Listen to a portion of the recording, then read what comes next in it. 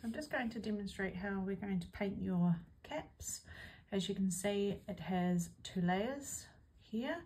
Um, the idea is that we're going to avoid painting this section. If we do get paint on this section, we do need to clean it up before it goes into the lamp.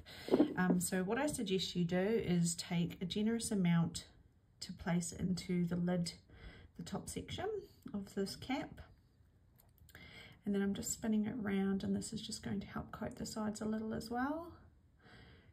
And then anything as you can see anything that is on this second um, lip needs to be removed.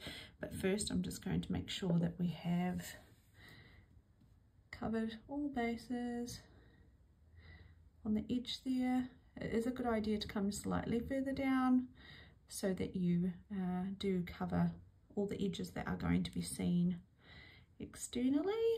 So you can give a little spin and have a wee look. Make sure that you've got enough in the top so that when it's over, it looks like the correct colour.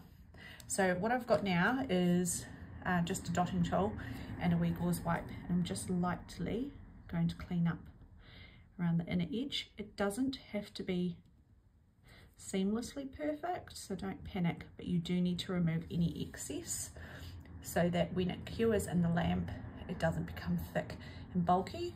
Um, what happens then if you do forget to do this step when you try to place it back into the lid, it can cause the plastic to crack. So what we're going to do next is place this into your gel lamp for 60 seconds. Once it's cured, allow it to sit for a minute and then we're going to place it into the lid and lightly press it down.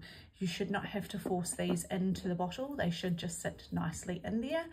And once it's complete, it will sit in there nice and cozy, like so.